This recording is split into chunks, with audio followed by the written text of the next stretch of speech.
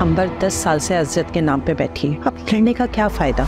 मुझे तो लगता है छुप छुप कर दोनों मिलते नहीं वरना कौन सी लड़की दस साल तक बैठती? बड़ी अपा ने इस बार छोटे भाई का एक बेटी के मजबूर बाप को जलीम किया।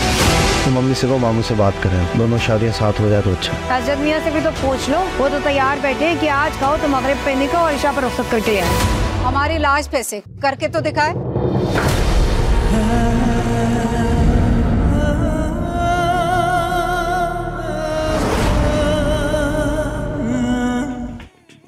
अदावत। देखिए आज शाम सात बजे सिर्फ़ ए आर वाई डिजिटल पर।